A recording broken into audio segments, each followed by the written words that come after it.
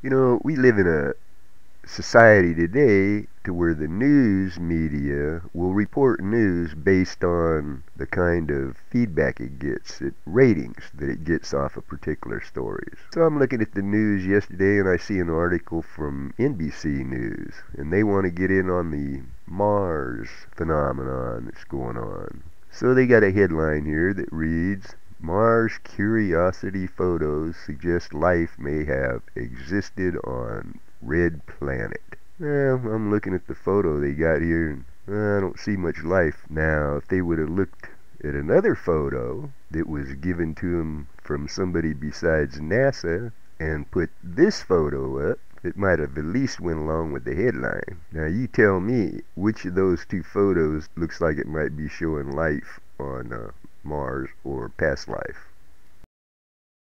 I think you conspiracy theorists out there that say everything that's being found up here on Mars is rocks are starting to lose your credibility. You better be careful, we'll be making fun of you here pretty quick.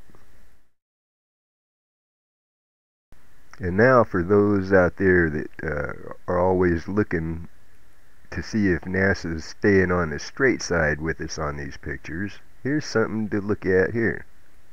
Now if this is not manipulation of a photograph, I don't know what it is. It looks to me like something was covered up here, no telling what it was. But definitely this photograph has been manipulated or something. So you conspiracy theorists that think NASA won't uh, manipulate a photograph, that's getting harder and harder for you to hold your credibility. Actually, it's Jet Propulsion Laboratories, JPL, that sends these photos over to NASA. So maybe they're the ones that are uh, doing a little funny stuff with them before they send them over. Who knows? But I do know the big boys get to see the photographs that we don't get to see. All the photographs that we see are in the raw version, unless they're furnished to us from either Jet Propulsion Laboratories or NASA that have been that have been processed. Now this is a prime example of what I'm talking about right here. I want to show you the difference between a processed photo and a raw image that, that we get to look at.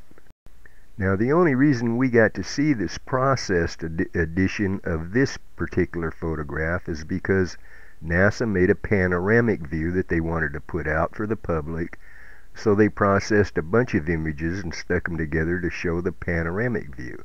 And that was the one you seen of Sol 52 panoramic view of Rocknest.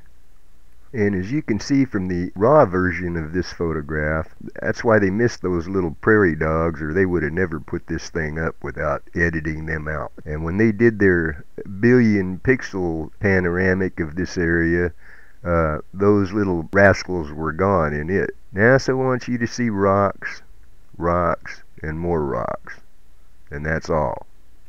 But they don't want you to see any rocks that uh, might look like something like maybe a face of a statue or something like that. They're not going to process a photo that will uh, show that, well, unless they do a little manipulation beforehand.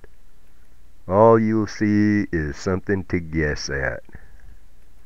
NASA might like to find a little microbe to show you, but they're not going to show you anything that shows past technology or past life at this point because they don't want to rush to Mars.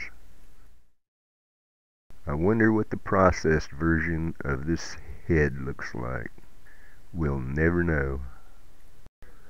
Or this little Yoda statue here. I wonder what it looks like when it's processed.